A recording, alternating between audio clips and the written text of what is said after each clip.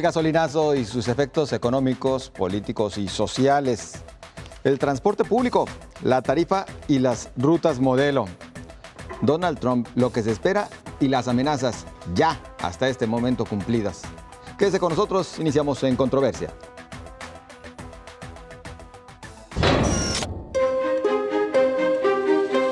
Gasolinazo. El 27 de diciembre pasado, la Secretaría de Hacienda dio a conocer la liberación de precios en gasolinas y la división del país en 98 regiones. Dentro del listado, designó a Jalisco y al municipio de Zapopan como los puntos de venta del combustible más caro del país. A la par se dio un desabasto importante de gasolina y diésel, que a decir de la Asociación de Gasolineros durará al menos dos meses. Mientras tanto, el robo de los hidrocarburos continúa y Pemex pierde 92 mil litros diarios por esta causa. Las cúpulas empresariales han señalado que estamos pagando los platos rotos de Pemex, donde ha proliferado la corrupción e impunidad. Bueno, pues bien lo dice la cápsula de introducción, corrupción e impunidad, que agravan eh, la situación en torno a este tema. Bienvenidos, gracias por estar con nosotros en este, el primer programa de En Controversia del presente 2017. Le deseamos lo mejor, pese, pese a todo lo que pudiera avecinarse. Saludo a mis compañeros que hacen posible este espacio. Diego Petersen, buenas noches. Buenas noches y feliz años a, todos.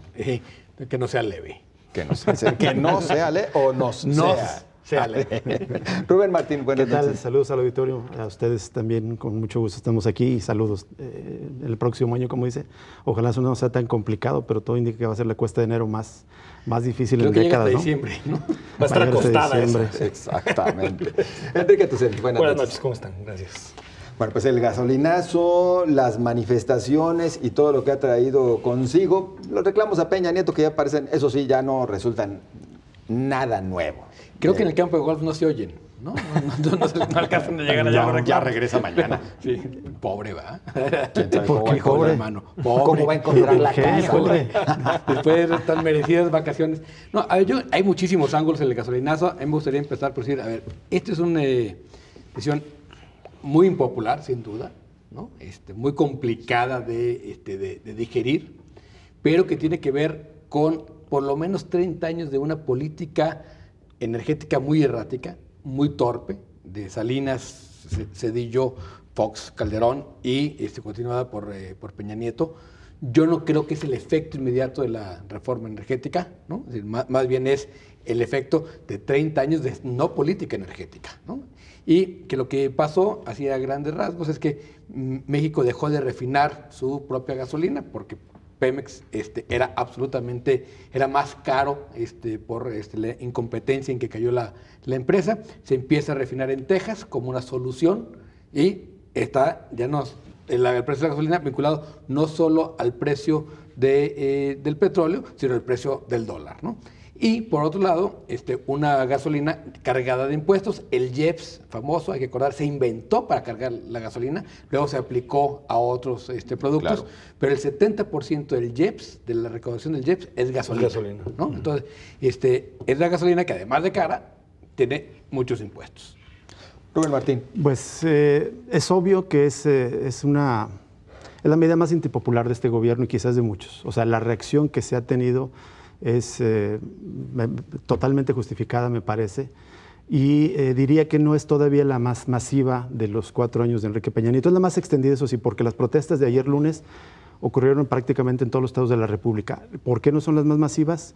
Las manifestaciones por la desaparición y asesinato normalistas de Ayotzinapa a finales de 2014 fueron bastante nutridas y también la oleada de movilizaciones del magisterio el año pasado. Pero todo indica que se van a convertir probablemente con casi, yo vaticinaría que sí, porque no solamente ya la gasolina, sino todos los otros eh, servicios o productos que están claro. creciendo, tarifa de servicio eléctrico, el gas, que ya aumentó 17%, por ejemplo, aquí en Jalisco. O sea, si comprabas, eso lo platicaba Carmen Aji de, de Autlán, el gas que se compró en- apenas la semana pasada en 350 y hasta 430 pesos. O sea, el madrazo a la economía familiar es mm, eh, mayúsculo. Yo no estoy tan de acuerdo con Diego cuando un poco como justificar la, la medida, incluso en la columna que escribías hoy, Diego, porque es un poco las explicaciones que nos dan los tecnócratas, como si todo esto fueran fatalidades que tuviéramos que aguantar. No, no son fatalidades, son perversidades. O bueno, pero o son a lo mejor entendí mal. Claro. Este, pero yo sí creo que, que la consecuencia directa, eh, o sea, sí hay una, una relación con la reforma energética. Yo creo que no es, no es posible desligarla. Eh, sé que la explicación que se da es que son los factores, digamos, del precio internacional, pero coincido contigo en esta otra parte de que viene de años. Junto con esto, que es una, una justificada protesta social que está a punto de, crecer algo más, yo creo que hay un componente muy importante, tiene que ver con la mentira del gobierno de Enrique Peña Nieto. O sea, nos dijo desde la campaña electoral, lo repitió él y todo su, su- su partido y los gobernadores como Aristóteles Sandoval, que ahora se dan golpes de pecho y dice que se solidariza eh, con los jaliscienses que están indignados por el gasolinazo, prometieron que iba a bajar la tarifa, las tarifas de, de los combustibles de la energía eléctrica en el país ¿Y está ocurriendo todo lo contrario absolutamente. ¿Qué- qué- y terminaría con esto solamente. Creo que a la vez es una crisis moral, una crisis moral eh, del país, pero especialmente de la revela la miseria y la debacle en la que está la clase política mexicana. ¿Cómo Que es posible que Enrique Peña Nieto, pero yo creo que agravada, que cuando el país está movilizado, indignado y este tipo esté jugando golf y no salga a dar la cara, a justificarlo? O sea, si quiere que lo justifique y si no, que dé marcha atrás, pero ¿cómo es posible que no dé la cara? Y estas posturas, digamos, incongruentes como la de Aristóteles Sandoval, de que supuestamente se va a solidarizar. Y lo último, las explicaciones totalmente estúpidas, en mi opinión, de, eh, la- de los tecnócratas de, de- de la Secretaría de Hacienda y otros, tratando de hacernos creer, como dice eh, eh, José Antonio Meade, de que es una medida necesaria, de que va a servir para nuestros hijos, cuando toda la riqueza petrolera ya se la despilfarraron. No, se la el despilfarraron el gasto corriente en automóviles. O sea, ¿por qué debemos claro. de pagarles los autos a, ¿qué te gusta? ¿100 mil burócratas federales? O sea, el auto, el chofer, la gasolina. ¿Por qué debemos pagar esas cosas? Pero- pero Todo digamos, este es el conjunto aunque- que explica esta medida, en mi opinión. Aunque quitaras los, los coches de los burócratas y eso no, no llegas ni al 5% del IEPS. Yo entiendo que es un, sería un Alcanzas, mensaje. no es cierto. No, no, déjame- Alcanzas, así, o sea, sí puede recortar el impuesto de más 300 mil millones de pesos. más argumentar. No sé si 300 mil es la cantidad que siempre ha dicho Andrés Manuel, pero no sé si, si realmente Yo no sé si él ha 300,000 dicho, millones de pero pesos. la- No, no, la sé, que sé es que lo la ha del dicho, IEPS, pero o sea, los 300 mil millones de pesos de, de austeridad, no lo sé. O sea, poder cortar 12% del gasto público en, en austeridad se me, se me hace difícil, se me hace muy complicado. Pero bueno, quitando eso, uno, yo diría que, que no solo es cinismo de parte de Aristóteles Sandoval o de otros políticos, también de los partidos políticos que lo votaron en el Congreso de la Unión y en la Cámara de Diputados, porque hay que recordar que si bien algunos partidos han tratado de mandarnos el mensaje de que, de que ellos no lo votaron, en realidad la ley de ingresos la, La votaron. El único partido que no votó la ley de ingresos es Morena, el único. Sí. El resto de los partidos se trataron como de, ¿cómo se puede decir? Como de curar en salud con votaciones particulares en temas que realmente al gobierno federal no les importa. Siempre se sabe que se pacta así. Me lo decía un diputado federal, me decía, lo que nos dijo el gobierno de Peña es, háganse bolas, díganle que no a esto, que al gasolinazo, que acá, pero al final votenme la ley de ingresos, es lo que me importa. Y le reparte, Y, le- ¿no? y- y le reparte, ¿no? Es, es la forma en que se negocia el presupuesto en este país. ¿Por qué el presupuesto en la era de la, de- de la alternancia democrática siempre pasa con porcentajes del 88, 90, 92%? Porque en realidad es una cobija en la que todos necesitan sacar algo y por lo tanto terminan aprobando la ley de ingresos. Entonces, eso de que digan Movimiento Ciudadano no la aprobó no es cierto. Movimiento Ciudadano aprobó y votó a favor de la ley de ingresos ¿eh?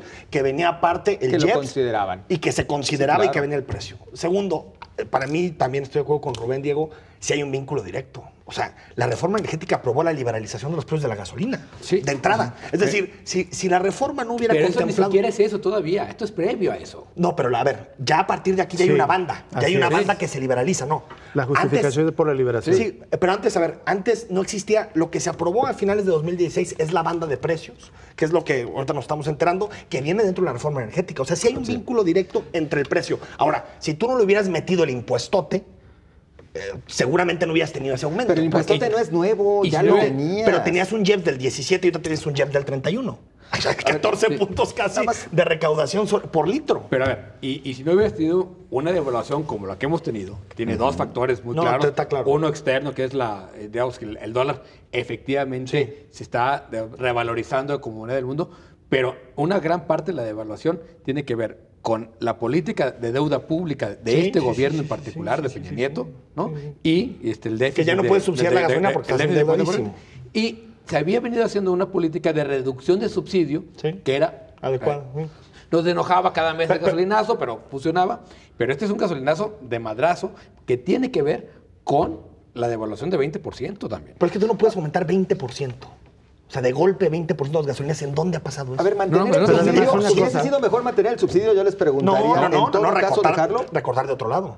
Es que no es subsidio, es que ese dilema de subsidio o aumento del 20% se Es que es un dilema impuesto, es un impuesto. Es un impuesto. Y lo justifican justamente con que hay un, déficit, entre otras cosas, por la caída del precio del Subsidio petróleo. sí lo que hemos estado Ya no, haciendo los no. mexicanos es eh, la caída del precio del petróleo. Hay que recordar que hace era tres años que estuvieron a 100, a 100 dólares o 110 incluso el precio por barril cayó a menos de 30 en algún tiempo, ahorita está de nuevo en 45, entonces te justifican, vuelve, se vuelve a encarecer el petróleo y pagamos gasolina cara. Pero o sea, los mexicanos hemos estado pagando gasolina cara, aumente o eh, baje el precio del petróleo. Es una, es una mentira. Yo voy a tratar de justificar de por qué sí creo que es, pos- es posible y no me gustó que dijeras es el argumento de Andrés Manuel López No, no, no, lo que digo porque esa cifra lo la ha dicho Andrés Manuel siempre, Bueno, toda en fin, la vida, por eso lo el digo. asunto es, a ver, si vemos cómo ha aumentado la, la alta burocracia, con eh, un reportaje, recuerdo, de, de- del Universal, hacia el final del periodo de, de Felipe Calderón, hablaba de casi una, de duplicar la alta burocracia. Es decir, estamos hablando de la gente, de las personas, de los burócratas, eh, eh, digamos, que están abajo de subsecretarios y de jefaturas, pero que son jefes de todas maneras y que ganan más de 100 mil, 150 mil pesos al mes y que tienen un montón de prestaciones. Nos damos cuenta que a lo largo, digamos, de estos mismos años que se ha despilfarrado la riqueza petrolera, y esa es la palabra, en los exenios de. Fox y de Calderón entraron 420 mil millones de dólares adicionales. ¿Y eso cómo se despilfarró? Se empezó a entregar a los A estados. estados que acabó en suburban. Por ejemplo, los gobiernos de, Francisco Ramírez Acuña, de Emilio de González Márquez, de Aristóteles. Sandoval han recibido cerca de 100 mil millones de pesos adicionales a lo presupuestado. Te alcanzaba para cuatro o cinco líneas de tren ligero. ¿Dónde está ese maldito dinero? Bueno, se reparte y también se- en el gasto corriente no se ha notado. Chécate el tamaño de la nómina. Una cosa, ¿no? si De cada uno. Fox hubiera cumplido su promesa. La dijo, por cierto, en Puerto Vallarta en un congreso empresarial en, el 99. Dice, si yo gano todo el, el excedente petrolero, lo voy a destinar a educación. ¿Pudo haberlo hecho no lo hizo? ¿O pudo haber hecho como el Fondo de Petrolero de, Noruega? ¿para qué? El Fondo Petrolero de Noruega que juntó más de 600 El mil millones de, de- de- de- de dólares y que se ha convertido en un fondo de inversión muy atractivo y que eso está redituando. Es decir, en Noruega te reparten una renta, si tú quieres, muy pequeña a cada habitante de ese país al final del año por, por, tu- por- por la riqueza petrolera.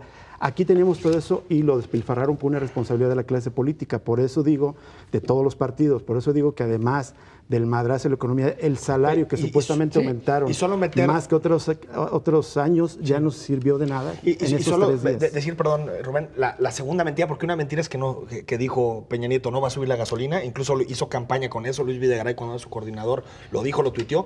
La mentira eh, de aquel pacto por la estabilidad fiscal donde dijeron no van a volver a subir los impuestos. y esto es un aumento de impuestos. Así es. Esto es un aumento de impuestos. Este tema, de cualquier manera, lo vamos a seguir tocando en el siguiente bloque, aunque ahora hablando un poquito de las repercusiones que podría haber en materia política, yo de cualquier manera sí les quisiera dejar la pregunta, entonces, ¿cómo hacerle? ¿Tendría que el gobierno seguir interviniendo de manera ficticia en el control de los precios del gas, del petróleo, de la electricidad? Regresamos y también sus planteamientos, sus comentarios. Más adelante. No se vaya.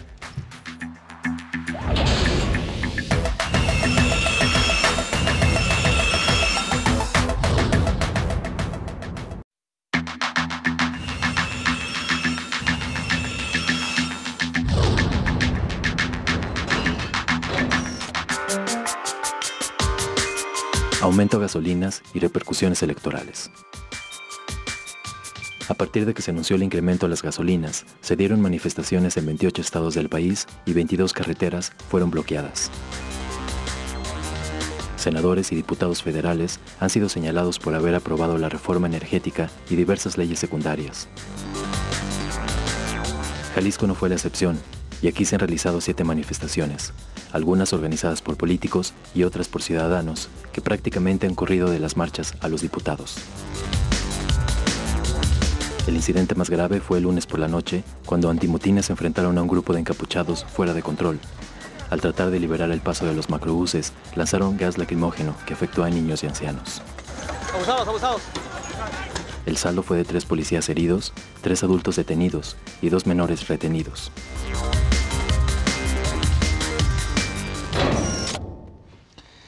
Bueno, gracias a ustedes que participan a través de nuestras redes sociales con sus comentarios. Gracias a quienes ya lo han hecho desde el anterior bloque. Y bueno, si nos permite, vamos a ello.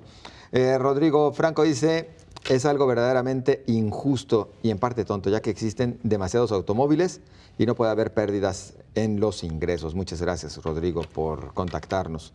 Osvaldo eh, dice, puros habladores, los senadores y diputados que ya no iba a subir la gasolina, por eso México está pobre por esas ratas. Dice, muchas gracias. Osvaldo también por participar. Y bueno, pues entramos en materia. Eh, tenemos que hablar de las repercusiones Sí. políticas, pero ya les dejaba una pregunta ahí en el aire. Sí, uno, a ver, este, el, el subsidio, yo creo que eh, se discutió mucho. Yo fui el que dije, hay que ir eliminando el subsidio de la gasolina, pero hay que separar subsidio, o lo que era subsidio que ya no hay, de impuestos. ¿no? O sea, tú pagas IEPS e IVA en la gasolina.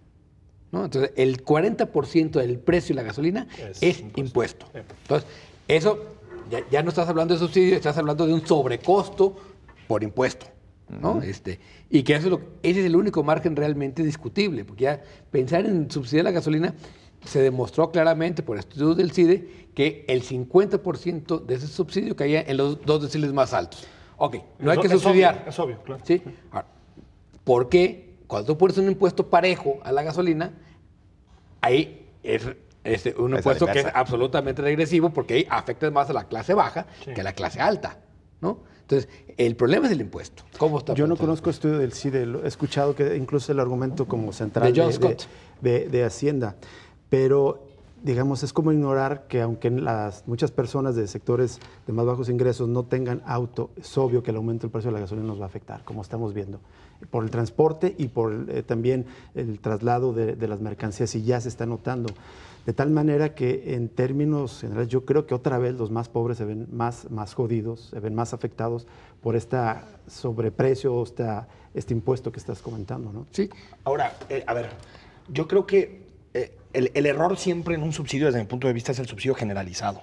O sea, yo creo que la gasolina no tiene que tener un subsidio generalizado, no tiene que tener un subsidio de que el que llegue y ponga su este esté subsidiado. Exactamente. Porque obviamente quien tiene una, una camioneta Homer, una camioneta de 8 cilindros, pues muchas veces incluso, y yo, yo recuerdo estudiar el CIDE que aparte está muy bien hecho, en donde salía cuánto recibía una, una familia por oportunidades, en torno a 900 o 1000 pesos mensuales, y por un- y gasolina. una camioneta se puede llevar hasta 1.500 pesos de subsidio mensuales. Es- No, no. Yo creo que es totalmente injusto subsidiar. Sí tienes, creo que hacer subsidios focalizados, por ejemplo, a sectores productivos, subsidios focalizados a, eh, eh, digamos, a, a familias con menores ingresos. Tienes que subsidiar, por ejemplo, a través del transporte público, donde beneficias a los que Exacto, tienen. exacto. Decir, yo, yo- yo sí creo que el subsidio generalizado es una tontería e incluso estaría de acuerdo en, en un momento en que la gasolina tuviera altos impuestos, como sucede en muchos países, siempre y cuando estuviera atado al transporte público. Bueno, que no esté atado, lo que no se puede es tener un subsidio que mantenga lo que decía Rubén, a una burocracia carísima, una burocracia con muchísimos privilegios, eso sí no, pero si el impuesto que le cobras a los autos pudiera servir para generar mejor transporte público, para políticas de combatir el medio ambiente, creo que, creo, creo que habría menos rechazo a este tipo de, de medidas. El problema es que no lo hay. Los se va directo a la caja del gobierno. La otra cosa, perdón, eh, por lo que dice Enrique, yo creo que tendremos que considerar el salario. Sí, ha salido sí, sí, muchísima información cuando el, eh, otra vez los tecnócratas de Hacienda es que es precio competitivo. Sí, el salario. Sí, o no. sea, si tienes el salario más bajo de todos los países de la OCDE, si tienes el salario más bajo de América Latina, en los hechos uno de los salarios más bajos de todo el mundo porque es por debajo de China, pues es obvio, digo, están Sí, los, sí, los sí. contrastes. Si tuvieras el salario de Estados Unidos, a lo Pues puede mejor ser no ese te, ajuste, ¿no? Sí, a lo mejor no te pesa Uh, tanto y- pagar este, y- este, y, y nada esta más un gasolina. dato ahí para agregar a lo que dice Rubén. El, eh, el cálculo conservador del gasolinazo es que va a impactar en 0.6 eh, p- puntos a la inflación. O sea, Ah, con- sí, muy hiperconservador. conservador. Yo creo que por lo menos se va a uno. ¿no? Pero bueno, lo- el de Hacienda es eso. El del aumento al salario mínimo, ¿sí? la propuesta de 82 pesos del, del PRD, quedó demostrado que su impacto en inflación era 0.5. Hubiera No sido sé. mucho más benéfico aumentar el salario. No, pues lo aumentaron. No, Tú sí. dices a Sí 90. aumentó. No, no. O sea, O sea, aumenta de al- a 100 73 pesos. a 80. Sí, Es el aumento más grande de todo el sexenio y quizás de toda, de- de- quizás Sí, de- del 2000, porque está este- aumentando solo entre- en torno al 4%. Pero una cosa, Diego, yo no sé de dónde demonios los de Hacienda sacan esas estimaciones de, digamos, de la inflación. Platicando en la tienda, con No, cuate de la tienda de la esquina, eh, desde noviembre, La desde finales es de noviembre, cifra- aumentó Bimbo, aumentaron refrescos, aumentó pan. ¿Por qué digo Bimbo? Bueno, pues son de los digamos, de los productos que más se consumen. En otra panadería también hablaban, es decir, el bolillo y el pan dulce ya está aumentando. La Las leche, tortillas la ya aumentó. Dos pesos. La entre- leche ya aumentó. O sea, digamos, los El, el- consumos. el huevo va y ¿Sabes- viene, sabes pero de dónde lo tendencia- sacan, los consumos, digamos, digamos de, de mayor cons- eh, de- eh, los productos de mayor consumo ya aumentaron antes de, de la repercusión del Es costo que de la gasolina. la inflación es un índice ponderado Sí. que lamentablemente le da muy poco peso a estas cosas. O sea, Claro. a, la leche, al pan, al- a, lo básico. Y por ejemplo, ¿sabes a qué le da mucho peso a la cerveza, por ejemplo? La cerveza está valoradísima dentro de la IPC. Pero, o la gasolina. A ver, la gasolina y- es la inflación es muy- un dato de referencia, pero no tiene nada que ver con la vida cotidiana. ¿no? Entonces, pues ahí está. Sí, o sea, no, no tiene, o sea, la inflación es un dato de referencia económico que para compararnos con todos los países del mundo y tiene que ser medida igual en todos los De países para igual. podernos este, comparar. Pero no tiene nada que ver con la, con la vida. Repercusiones políticas, ¿ya estamos en el nivel en el que lo que se viene diciendo en los últimos días? Yo creo que es ya perdió gol- en el 18 el PRI y ya ganó el PRI. Bueno, el PRI ya creo que antes del gasolinazo también Ya ya, estaba en esa, estaba en esa deriva. Yo creo que el, el único que se fortalece en este escenario es Andrés Manuel. Hoy, pero Porque aparte el Enrique, PAN, Ochoa, Enrique Ochoa dijo que al PRI no le afecta. que al PRI no le afecta, pues igual no. Es que ya cuando tienes 12, No, cuando 13% pierdes, cuando no. pierdes Hombre, piso y no vives en la realidad, Oye, ya- cualquier en realidad Que nada tiene, nada pierde. Solo tienes a la burocracia federal que va a votar por ti, ¿no? Esa ¿Y quién sabe? Totalmente ¿Quién dura, sabe? ¿y Ya quién se ha sabe? visto que no. Y ¿Quién yo sabe? creo que Andrés Manuel dejó su posicionamiento en torno a la reforma energética desde el primer día, entonces creo que queda claro que es de los ganadores. Le en pusieron esta, el ¿no? balón votando y en el área. Yo. Porque el PAN también votó a favor y quería una más ambiciosa todavía, una reforma energética más ambiciosa que la de Peña. repercusiones políticas grandísimas. Peña Nieto hasta antes del gasolinazo tenía 80% de, de rechazo de la población. Es el presidente con menos aprobación desde que se miden, digamos, Claro, este, a esos indicadores. Obviamente va a aumentar, yo creo que mucho, 5, 8, 10%, no lo sé. Es decir, va a tener casi una, una desaprobación. Y si eso, esa, digamos, ese indicador es cierto, eso implica que incluso los periodistas lo están mandando al demonio, lo están rechazando. El PRI yo creo que va a su debacle, a su derrota electoral y probablemente no su- a su extinción, pero una cosa que no habíamos tenido pues, todo el siglo pasado, un partido minoritario probablemente, no creo que vaya a ganar, por ejemplo, las elecciones en el Estado de México en este entorno, en este, en este contexto. Pero la otra cosa, más allá de quién gana, es claro que hay un sopiloteo electoral y político de los demás partidos, es decir, de la oposición, como la reyerte que estamos viendo aquí entre Movimiento Ciudadano y el PRI, por esta manifestación es que chamba, San Juan de Dios. Sí. Pero la otra cosa es que yo creo que, digamos, yo trato de ligarlo con lo que decía de esta crisis moral de, de- de la clase gobernante y también me parece que estamos asistiendo a una profundización de la crisis del sistema político. Es, este es un sistema que no te representa, es decir, si llega a- y nos está gobernando un tipo que miente y que además en campaña electoral no te dice yo te voy a aumentar el precio de las gasolinas, yo voy a, a vender petróleos mexicanos, si estás teniendo de- de- la población en general la constatación de que quien llega y te está mintiendo, yo creo que la crisis es, es más generalizada que la del PRI. de El. PAN comparte esta crisis, Sí. es corresponsable al igual que el el PRD, del PRD. Pacto ver, por yo- México. pero yo vería, o sea, a mí la parte, sí creo que el PRI va a entrar en una profunda debacle electoral, ¿no? Muy probablemente el Estado de México sea la puntilla, ¿no? Camino al 18, y eso va a implicar que los priistas hacia el 18 van a dividirse entre los que se van a ir con Andrés Manuel y los que se van a ir con, con el PAN. PAN, ¿no? Eh, probablemente Ma- Margarita o Anaya, quien vaya a ser. Pero la parte más grave me parece es que, a ver, eh, tener popularidad no es para que decir que espejito, espejito, que es el más bonito, ¿no?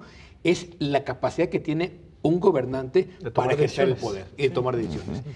Con el nivel al que va a llegar Peña después de esto, ¿no? La siguiente medición, la posibilidad de que el gobierno ejerza va a ser cada vez más complicado y vamos a ir caminando de aquí al 18 a momentos cada vez mayores de ingobernabilidad. Si a eso le suma lo que vamos a ver al rato, que es el efecto Trump, ¿no? Creo que se nos viene un año verdaderamente complicado en términos políticos, donde va a haber muy poco margen de maniobra y mucha poca capacidad de, este, de ejercicio del poder. Y, bueno, y, bueno, yo creo que Peña Nieto se ha convertido en lo que los, los americanos llaman un pato cojo desde hace, desde hace ya algún tiempo, que no puede tomar decisiones, incluso su partido, cuando él toma decisiones muchas veces no lo siguen. El, el gobernador del estado sacando un tuit en contra de la decisión del presidente de la República, eso rara, rara vez se veía en el pasado, creo que habla de la debilidad presidencial. Y también yo creo que la pregunta sería qué tanto va a aprender en la calle este, este tipo de decisiones. Porque a mí me parece que es cierto, hubo manifestaciones en todo el país, pero yo pensaría que iban a ser más, eh, más multitudinarias. Tal vez pueden ser las fechas, que, que mucha gente todavía no está empezando, pero también muchas veces este país eh, se moviliza por muy poquitas cosas. Sí. ¿no? Por ejemplo, Había más personas el en caso recaudadoras que en las manifestaciones. Recordé el caso de. Brasil, por ejemplo, que no es el- cu- no es el ¿cuánto fue, Diego, el aumento en su momento al transporte, público que causó las manifestaciones va, masivas ahí- Sí, de en 2013. millones Me tocó ver la primera, O sea, ¿no? pero, pero lo que me refiero, digo, es que este país, Sí. no sé si este sea exactamente el cerillo Sí. que, que prenda realmente Yo creo que hay que ver lo que pasa en las próximas horas, ¿no? Este, a ver si, cómo van aumentando. Yo creo que lo que tienen las manifestaciones son muy ciudadanas, muy espontáneas, por eso son desorganizadas. ¿no? Así es. No están los partidos políticos atrás. Eso es Bueno, falso, quisieron ¿no? entrar y Quisieron entrar y les los mandaron demonio. Les fue fatal. Porque hay, o sea, es contra el sistema Sí, te- estoy de político acuerdo, es contra el sistema, ¿no? estoy de acuerdo. Y entonces eh, son manifestaciones muy aisladas, muy desorganizadas, pero muchísimas. Yo- Entonces, yo creo que si esto va creciendo, hay- que darle 48 horas, al- quizás hasta lunes, para ver el tamaño que realmente va a adquirir esto. ¿eh? Yo los invitaría a tratar de mirar más la- a largo plazo y eso creo que nos da, nos ofrece otro punto de vista, incluso para cuestionar esto que dices, un poco como que esta idea de que México, los jaliscienses en particular, como medio conservados no, no se mueven. Si uno amplía la mirada, no, eso no es cierto, digamos. ¿A qué me refiero? Para mí, este gasolinazo es como el efecto más reciente de políticas económicas neoliberales. Y si uno lo mira más a largo plazo, o sea, todas las políticas económicas neoliberales han causado un montón de reacciones y de resistencias. Por ejemplo, yo creo que hay que incluir ahí las movilizaciones del Barzón, el alzamiento de los zapatistas hace, hace 23 años y cada una de las reformas, eh, digamos, ya para hacer el salto al gobierno de Enrique Peña Nieto, cada una de las reformas estructurales que él vendió como la solución para encontrar prosperidad, crecimiento, progreso para la población, fueron combatidas, fueron resistidas, fueron, hubo movilizaciones en la calle. O sea, nada más recordar las movilizaciones que hemos tenido este año, si, si quieren incluso desde la campaña Desde de 2012. Ayotzinapa, desde el 14. No, ponle el Sí, 2012 en la campaña. La, la movilización del 131, Cierto, las cierto. movilizaciones contra lo que se consideró fraude para algunos, o la imposición de Enrique Peña Nieto. Y cada una de las movilizaciones, has tenido movilizaciones de los pueblos indígenas de manera permanente, Sí. movilizaciones campesinas. Por ejemplo, aquí en Jalisco, los lecheros, los productores de maíz, todos los años se están movilizando. Para poner un y son sistema, efectos. Rubén, digamos, contra las cuerdas, reformas. contra las cuerdas, Sí. necesitas que salgan más a las clases medias. Eso pasó, por Ah, ejemplo, en el norte de. África, pasó en Sudamérica. Y En siento que, las clases medias, de eso. de- desde mi punto de vista, no se están manifestando en contra del modelo neoliberal, se están No, no, de manifestando en contra de que les cuesta cara su gasolina porque quieren ser, Sí, sí, sí. quieren Y- tener su coche, Lo que quiero quieren tener la su vida. es que si- aumenta la, la presión en las próximas horas, o sea, lo que puede ser que el que gobierno cambie regrese. la es que es. realmente haya una gran presión en la calle. No los empresarios, no los partidos. Las Yo creo que medias, la ¿no? presión ya la hay, pero Sí, además pero- pero que yo aumente, creo que que, realmente ponga en riesgo la esta, diga- ahora que mencionas clases medias, que coincido, es más o menos clases medias y sectores Es más como- acomodados que es, oye, ¿por qué me tocas mi, mi, Mi gasolina? bolsillo, que- Exactamente, justificado. Pero creo que son los que, digamos, de alguna manera más recientemente se han enterado de que, de, de que estas políticas le está haciendo daño a toda la sociedad. Digamos, no han salido Pero lo peor es que creo que en quieren más políticas momentos. neoliberales, quieren ser impuestos, quieren más Exacto. contaminación. Es que Sí, sí, de pronto no sé No, si, no, si no, lo que no, no, buscan- no sabe. salen en contra del neoliberalismo, yo salen creo en que contra no. del, No, yo creo que no. del golpe al ingreso. Pues como la mayoría no lo hace, o sea, Exacto. defiendes lo que te está afectando, lo que está afectando a directamente tu tu ¿Qué nos hará pausa manera. ahora sí? Sí, y seguimos con gasolinazo y trompa. Seguimos con ¿no? gasolinazo y trompa. Sigue, sigue el transporte. Continuamos enseguida, no se vayan.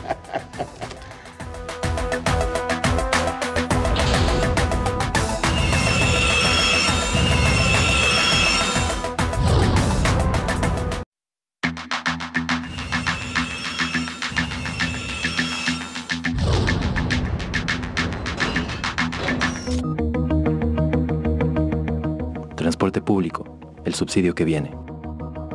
Los incrementos al diésel se han convertido en un argumento de peso para que transportistas insistan en el aumento de la tarifa. Sin embargo, hoy los dueños de las unidades no piensan en un peso, sino en dos o más, es decir, que el costo del transporte quedaría en nueve pesos. El rechazo de ciudadanos y estudiantes fue inmediato. Aseguran que no han cumplido con las condiciones de seguridad y servicio, como el prepago y otros. Los operadores del transporte público han propuesto que aumente a 9 pesos con el subsidio del gobierno de Jalisco. El Ejecutivo permanece en silencio y los patrones rechazan el modelo de apoyo, ya que en el gobierno de Emilio González les prometieron de manera similar 258 millones de pesos que nunca les pagaron completos. Y bueno, volvemos al punto, pues se subsidia al transporte público, entonces ahí sí va a haber un subsidio al combustible. A ver, ahí, Siempre yo- diciembre, seis, poca- diciembre, enero. po- ¿eh? pocas cosas ha hecho tan mal este gobernador como el tema de la tarifa del transporte. Él se ha enredado y enredado y enredado solito, ¿no?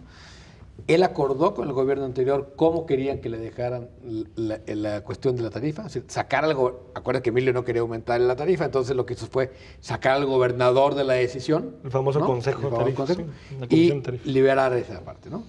Cuando Aristóteles llega y cancela por el accidente aquí en la, en la La prepa prepa 10 10. el aumento que ya se había autorizado, ahí se y luego crea este, el, el observatorio y luego este ahora desaparece Cuya recomendaciones no respeta, ¿eh? no no, respeta Las recomendaciones recomendaciones, las pasa por- lo desaparece la comisión tarifaria para crear otras dos cosas No, pero eso se propuso desde el Congreso, ¿eh? Sí, La desaparición pues, de la comisión sí, pero tarifaria. en sí, sí, sí, sí. Y entonces, creo que están hechos bolas terriblemente porque el transporte sigue siendo igual de malo, ¿sí? ¿Vale? ¿Por qué es tan caro? ¿Por qué, por qué dice que puede salir en 9 pesos? Porque el sistema hombre-camión es terriblemente ineficiente. Y los que pagamos la ineficiencia somos los usuarios. El sistema ruta-empresa, ¿sí? Podría bajar, o si lo manejara el gobierno, digamos, con eficiencia, no como manejas este cosa. Si lo regulara, dices. Regulara, o sea, podría bajar Sí. esa tarifa técnica de 9 pesos, podría andar en 7, 8 pesos. Lo dudo, ¿no? Si, si metes todos los sistemas de eficiencia, trans- camiones nuevos, este sistema de este computarizado de, este, de unidades, que sea ruta empresa y Pero- no Pero quien se atraga- atragantó con la ruta empresa fue el gobierno. Claro. O sea, ya, ya había muchos camioneros que estaban pidiendo que estuvieran todas las condiciones puestas para empezar la ruta empresa, para empezar a asociarse. Y el gobierno, desde que llegó Servando a ese tema, no le prestó, pero ni un segundo de importancia. Ya hay modelos, por ejemplo, el macrobús es en realidad una ruta empresa. Sí. Y hay, digamos, un modelo que se podría seguir en términos de ruta empresa, que yo creo que ni siquiera es la salida. Yo, yo sí soy de la idea que, que, que la mejor forma de administrar este tipo de servicios es a través del Estado. Ah, no. Esa es mi idea. Yo Pero bueno, coincido completamente Eh, pero, con eh, estando de acuerdo, el Estado también tiene que manejarlo como ruta empresa, no como lo maneja ahora. Ah, tal vez ya el modelo organizativo interno del Estado ya sí, Sí, ya es se un desastre. Yo Pero creo, sería distinto porque... Yo creo que el, el gobernador, perdón, nada más para terminar, Rubén, creo que el gobernador no se va, desde mi punto de vista, a animar políticamente a aprobar una tarifa muy alta. Es decir, un peso más, un peso 50 más. Y sí creo que vamos a ir a un escenario de un aumento pequeño, 50 centavos tal vez, un aumento pequeño en, en sentido de, de lo que está discutiendo actualmente. Y sí veo un subsidio de en torno a unos 600, 700 millones de pesos. ¿Qué fue lo que hizo Emilio? camionero. Pero mira, Es eso. bueno, yo, distinguiría dos cosas antes del subsidio, relacionarlo directamente con el gasolinazo. Hoy, antes de, bueno, apenas hace un, un rato antes de entrar a este programa, Arnoldo Licea estaba declarando aquí en señal informativa que mañana paran 30, 35 rutas del transporte público. Mañana. Va a afectar a cientos de miles de, de- de tapatíos. Y la justificación, es decir, si ya venía la presión desde antes, ahora con el incremento de los combustibles, parecería justificado, ¿no? Y habría que ver estos estudios técnicos que dicen. Yo no creo que, que Aristóteles Sandoval tenga tanto margen como para negarse, de- depende. Pero, digamos, de Tampoco fondo, no estamos sí. ante problemas de... ¿Hace cuántos años que estamos debatiendo la- el mal de transporte público en, este, en Pues esta desde, que, ciudad? desde que nos conocimos. Exactamente, o sea, un montón. Hace un montón. ¿Para qué sacamos? Ustedes que son 30 años. personas paseadas, ¿cuál transporte público conocen que es eficiente? Yo casi me atrevería a, afirmar que es transporte eh, estatal, transporte municipal. 100%. Todo es transporte público donde funciona Totalmente. en muchas ciudades del mundo. Subsidiado. Tendría, sí, Claro. pero pues al final Sí, es un servicio, es- es claro, un servicio esencial para el funcionamiento pues, de- y la reproducción de, de O la sea, misma es- sociedad. Es, el, es- es el subsidio que tiene mejor retorno tanto en el gasto a las familias como en el beneficio social y ecológico de las ciudades. Y, y este es un ejemplo Y de, que estamos metidos en tal tamaño de una crisis social, política, moral en, en el país y aquí, que la, salir de ella requiere decisiones de este tipo, pero no lo van a hacer por la serie de complicidades que están Intereses. metidas ahí. Justo lo platicamos, digamos, antes de volver al aire. ¿Cuántos políticos no están eh, metidos en el negocio del transporte público? Y para ligarlo con el tema de las gasolinas. ¿Desde dónde viene, y de la reforma energética, desde cuándo viene esta ambición de algunos de que privatizar petróleos mexicanos y los servicios de, de- de las estaciones de gasolina podría ser un gran negocio? Hace 11 años fue en la campaña interna del PRI 2005, que fue la mejor campaña que ha hecho Ramiro Hernández, la interna, que no la ganó aquella campaña de Con todo. con todo, Ramiro. Platiqué con uno de sus financiadores y me decía que entre otros eran algunos de las tiendas 7-Eleven, que eran los que aportaban dinero a él y a otros, porque Sí. les interesaban sus negocios. eh, de tiendas Por de las conveniencia licencias que y porque les interesaba, 2005, les interesaba los servicios de, ven- de venta de gasolina que se venían. Como está pasando con Oxxo, por ejemplo. Sí. Bueno, pero estoy hablando Sí, de hace sí, 11 de años. hace 11 ¿Cómo años. sabían ellos que i- venía un gran negocio ahí? O sea, lo que quiero decir es que ya alguien estaba eh, poniendo las manos en privatizar petróleos mexicanos y lo ligo con, sé que estamos en el tema del transporte, pero lo ligo porque otra vez como estas fatalidades que nos intenta vender la clase eh, gobernante, en particular los tecnócratas, de que no, estas medidas que estamos tomando, oh, no hay de otra. Sí hay de otra. Si se hubieran tomado otras políticas de conducción de petróleos mexicanos, no estaríamos Y que- en esta y que crisis. todavía se pueden tomar Si otras, se ¿eh? se hubieran creado las refinerías que muchos propusieron, si no se hubiera abierto de manera indiscriminada este país a los capitales extranjeros, si se hubiera protegido ciertas industrias como muchos críticos del Tratado de Libre Comercio decían hace 24, 25 años, no estaríamos en estas condiciones. Las fatalidades Claro, que nos dicen mira, estos pero vol- volviendo al, al- tecnócratas al- no al son transporte, le- el, el aumento al diésel, y lo dijo el, el secretario Smith, no debe ser excusa para dar el transporte porque el diésel, el transporte público sí está subsidiado, sí hay un subsidio. Lo que pasa es que no es un subsidio directo, ¿sí? es un subsidio por la vía de impuestos. Y para que tenga, obtenga ese subsidio, lo primero que tiene que hacer es declarar impuestos, Sí. que es lo que no Que hace. ese es el ¿no? punto, exactamente. o sea, te- eh, vuelvo a lo mismo, o sea, este sistema de hombre-camión ¿sí? es terriblemente ineficiente. ¿Y quién paga eso? El usuario. Entonces, Digo, ¿por qué pero el usuario? donde no hay hombre camión Eh, se subió también. el por ejemplo, y- León. Y si no es el usuario, va a ser el Estado con nuestros impuestos. ¿no? Por Que eso van mejor a acabar si, ahí. ¿no? si tomara el servicio, entonces, si se ya, estatizara. pero a ver, Claro, pues el ejemplo que tenemos con ¿Tú qué tampoco prefieres? nos habla de que No, sean muy tú- eficientes. tú decías, los el gobiernos. subsidio al transporte Eso es es uno- cierto, pero, pero estoy seguro que hay, que hay, o sea, es imposible que el Estado maneje eh, bien las empresas públicas. Nos han hecho creer Mira, que no. Citeur, en muchos momentos. En está- muchos momentos es la mejor se ha calificada. demostrado que sí. Sí, No, no. Citeur es la mejor Sí, calificada y es claro. pública. Es Es 100% pública y pública. funciona muy Este- bien. Esta idea de que lo público no funciona, sí, totalmente. Esto es un discurso muy, muy ideológico que en realidad no, no tiene sentido y lo vemos con Citeur.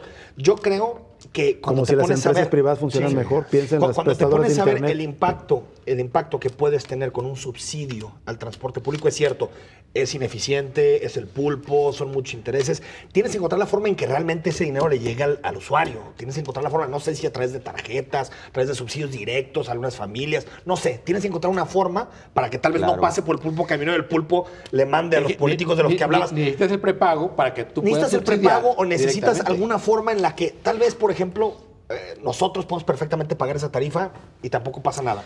Pero tal vez si vas indirectamente a las personas que tienen más necesidades, creo que podrías hacer un buen subsidio. Ahora, incluso en la- en- si no llegas a este esquema de subsidio a, a- a los que más lo necesitan, yo creo que es mejor que esos mil millones, 700 millones de pesos se vayan a que la tarifa no sea tan alta y por tanto no genere tanto problema en las familias, en las economías populares. Es mejor a que se vaya otras cosas, otro tipo de gasto. O sea, cuando tú ves el costo-oportunidad, Ah, no, sí. es mejor que se vaya a eso, Sí. a que la tarifa esté baja y por lo, tanto que no no tenga impacto. coraje que el precio esté directamente vinculado a la ineficiencia del sistema. Pero al final, ¿quién Claro. termina pagando esa ineficiencia? El, el usuario. El usuario. Mientras haces la eh, transformación, creo que le estás pagando, ah, no, le estás no, pegando doble. eh, eh, Gasolinazo eh, más aparte, pum. Eh, eh, Y es cierto que vas a ayudar a los usuarios. O sea, hay que atacar el problema de fondo que es la ineficiencia del sistema. Y el eso- primer año que Ayudas a los usuarios, pero también a los dueños de- del transporte público. Claro. Pero ahorita eso, qué la haces? solución de fondo ver, tendría que ¿Dudan ser ustedes que en el corto plazo, es decir, inclusive en este año o antes de que termine el sexenio, ya se puede llegar a este nuevo modelo de ruta empresa? Yo creo que no. En Vallarta, El total en, no. en- en Vallarta está operando, ¿no? Exacto. Y supuestamente este año de- deberán de operar las cinco primeras rutas de empresas, Agosto. entre López Mateos, que es la compli- unas complicadas, ¿no? La pregunta es por qué tenemos 10 años discutiendo esto. Fue Emilio González Márquez al principio de su gobierno quien prometió que iba a meter Y, esto y- porque y- y no, nos, una no prometió Gudiño que ya con la nueva ley Orsi le iban a quitar los permisos a los camioneros. Que, eh, no Ni una uno. concesión, ni una, concesión, no han han quitado. quitado. Y esa era la gran. ¿Por qué ocurre? ¿Por qué? ¿Por incapacidad? Uh, no, no, se cree. ¿Quién está ¿Tú detrás? crees? no? Pues exactamente. Digo, pues es que no retiras una concesión. Aparte, incluso como mensaje público sería interesante. O sea, tiene que quitar concesiones. La tarifa no te está resultando, está clarísimo. Tienes que ir a las comentarios, tenemos algunos comentarios que ustedes nos hacen llegar y los agradecemos, por supuesto. Gracias por participar aquí. En controversia, ¿se merece cobrar más por el servicio que brinda el transporte público? ¿Se debe subsidiar el costo con apoyo del gobierno? Es la pregunta que ha hecho Canal 44. Gracias a J. Villela, dice. Eh, no, y menos la ruta 371 que tarda más de 30 minutos en pasar. Muchas gracias por el comentario, Héctor López. Este país ni se arreglará por la buena, pero si quitamos a Peña, ¿a quién ponemos? Dice. Muchas gracias. Del trono de Bueno, nos dice eh, de Ángeles, por supuesto que debe subsidiar al pueblo, no le alcanza. También es el comentario que nos hace llegar. Muchas gracias. Tenemos algunos otros comentarios. Bueno, algunos que hemos recibido también por otras vías tienen que ver, dicen, estas políticas de gobernar y las reformas de Enrique Peña Nieto fueron hechas así a propósito para dar toda la riqueza del país a los extranjeros. Gobierno malinchista, nos dice Robert, en tanto que Francisco Jiménez nos dice no al subsidio, no al alza del camión, el servicio no lo vale, sería el cuento de nunca acabar todo. Todo sube menos los sueldos. Muchas gracias por participar. Vamos a la pausa y regresamos ahora sí para platicar de Trump y sus efectos ya, en lo inmediato.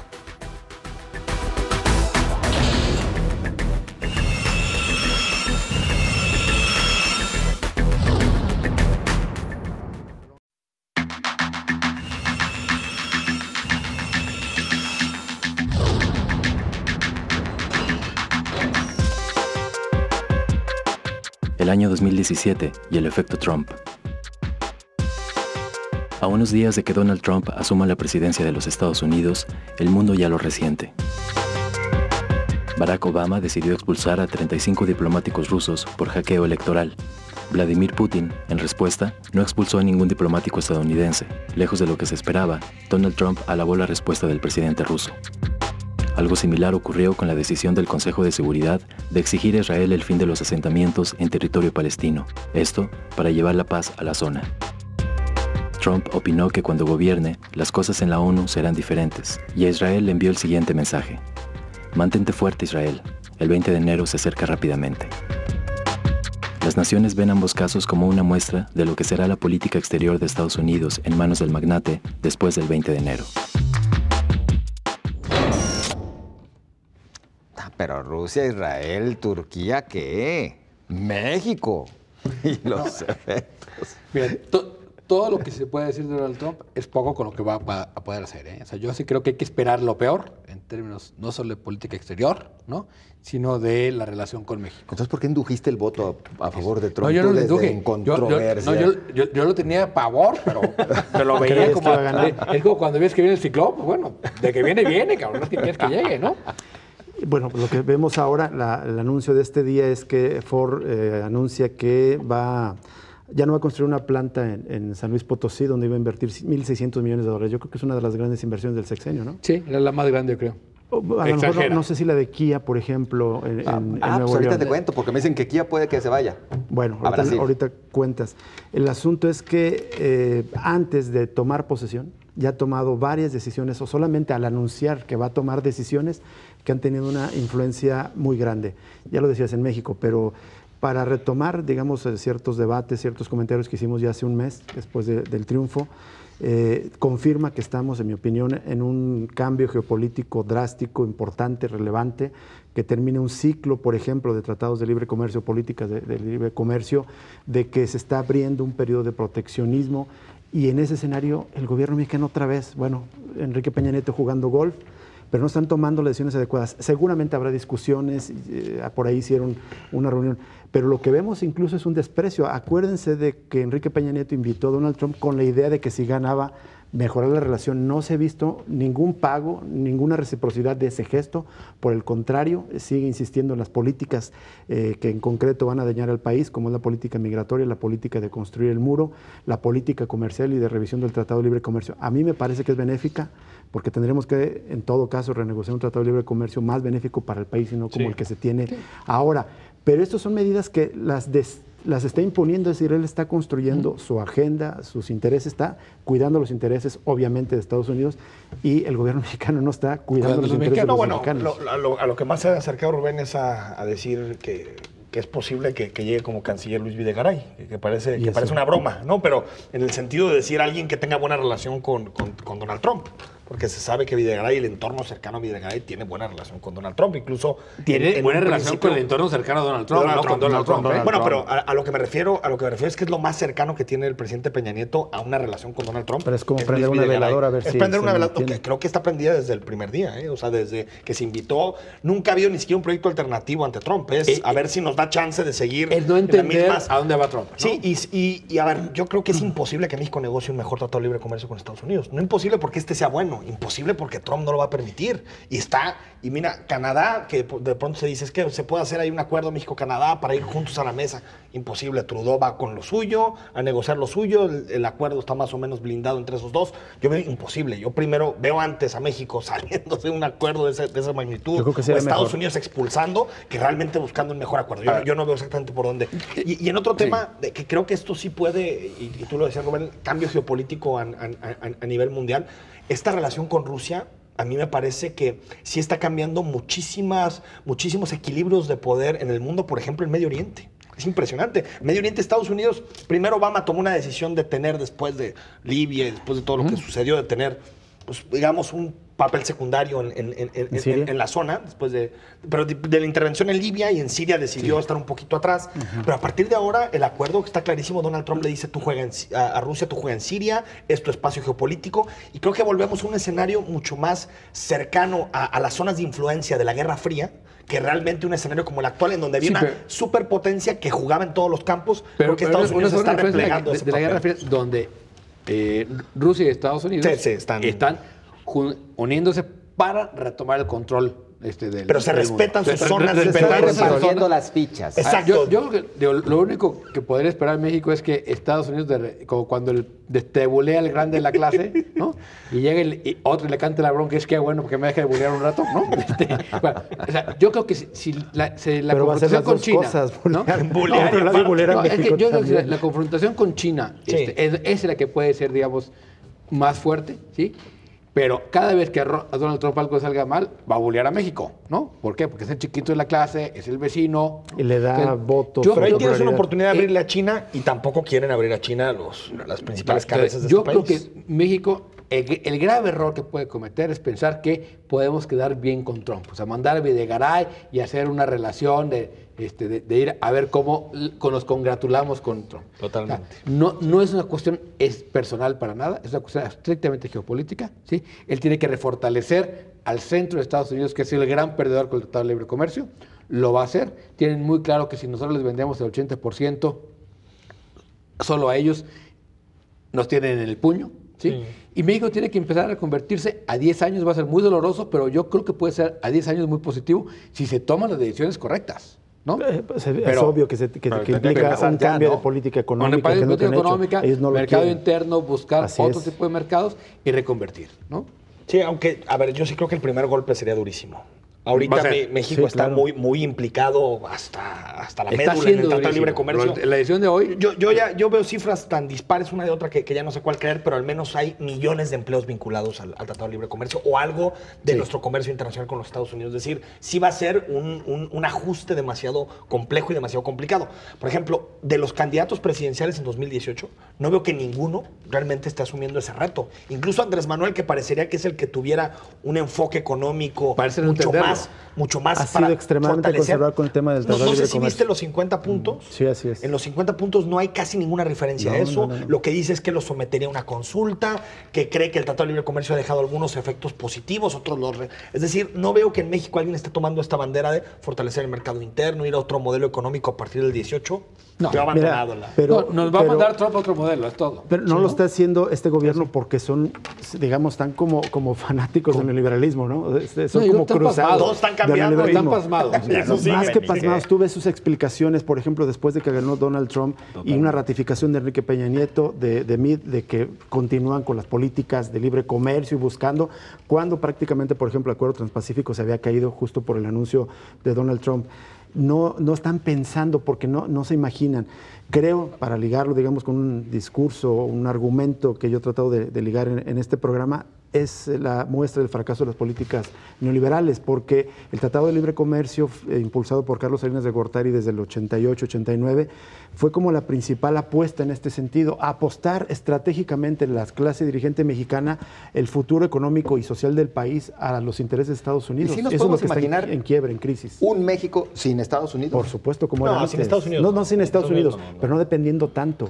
O sea, piensa antes, no, no se trata de volver al autoritarismo priista y al mercado de importaciones. No. Lo que sí tienes que pensar es reconstruir industrias nacionales, Diversificar, locales claro. y no tampoco depender de un tampoco se solo puede país. imaginar Estados Unidos sin México. ¿eh? O sea, yo creo que ahí la, la dependencia, somos una fron- la frontera más cruzada del mundo. De entrada es Tijuana Santiago. ¿no? O sea, eso, eso no lo vas a parar. Y hay un país en medio y la economía de California, por ejemplo, depende muchísimo de la relación con México. La economía de Arizona depende muchísimo de la relación con México. La de Texas en gran medida. Entonces, tampoco puedes pararlo, ¿no? Pero sí, lo que se va a jugar es a volver a posicionar cada quien en su, digamos, en donde quiere estar, ¿no? Y ahí, tristemente, pues ellos traen 80 canicas y nosotros 20, ¿no? Claro. Este, Y también creo que, que Trump entendió muy bien su electorado. Claro. O sea, entendió quién votó por él. Y precisamente votaron estos trabajadores empobrecidos por la globalización, empobrecidos por el Tratado de Libre Comercio, que ven cómo sus trabajos se fueron a México, a China, a otros lados del mundo y por lo tanto apuestan por alguien que lo que abraza es el nacionalismo económico. Yo creo que en Estados Unidos, un país que basa en el mercado interno, en las importaciones, no creo que tampoco Trump en, a corto plazo pueda realmente dar grandes resultados. Eh, Estados Unidos es una economía no tan abierta como la mexicana, pero es una economía muy abierta. Quería regresar a un comentario que hiciste del acuerdo, aparentemente como acuerdo Rusia-Estados Unidos, en concreto Trump-Putin, con esta idea de que es regresar a espacios de influencia. Yo no lo veo tan, tan fácil, porque hay que recordar que también Putin habló de, de renovar su, su- su arsenal atómico Sí. y también Trump dijo, no, también nosotros. Es decir, podemos estar en un escenario también eh, muy complicado de conflicto Claro. internacional. La relación que tuvo con la pre- presidenta o primera ministra, la mandataria de, de Taiwán, que molestó tanto a China, son signos bastante ominosos de una desestabilización, creo, geopolítica, que lamentablemente, digamos, eh, en estas reyertas otra vez, como dices, de los grandes Sí. de la clase, nos va a ir. Pero no de- de- de- a decía un amigo que es científico físico mexicano que vive en Estados Unidos, de, de alto nivel, que hubo una, una reunión de alto nivel de científicos ameri- americanos y mexicanos, ¿no? Dice, y el gran temor de todos es que este güey sí nos lleve a una guerra nuclear. Le dije, bueno, ¿y qué va a pasar? No, y nos vamos a enterar. Ah, le dije, entonces no es problema. no Pero, pasa pero nada. no creen que a corto No, no hay plazo, a corto plazo, el hecho de que Trump vaya hacia, hacia adentro y fi- se fije sus objetivos internos no permitirá que, que la relación He con Rusia a corto plazo. Sí, sí, sí. Yo he escuchado muchos plazo, analistas, a- algunos de geopolítica, por ejemplo, Alfredo Y, y- Jalife, y van a hacer negocios positivo en este acuerdo. de un contento, ¿eh? Claro. Van a, hacer- lo- lo- a los dos les gusta mucho el billete y tienen sus empresarios alrededor, ¿no? ver, Eso también. nos hay, vamos. hay, digamos, intereses muy particulares. Y la gasolina. Ah, no, ya Ah, ya hablamos. Nos vamos. Muchas gracias. Muy amables. Gracias, saludos a todos. Y gracias a ustedes. Que pasen buenas noches.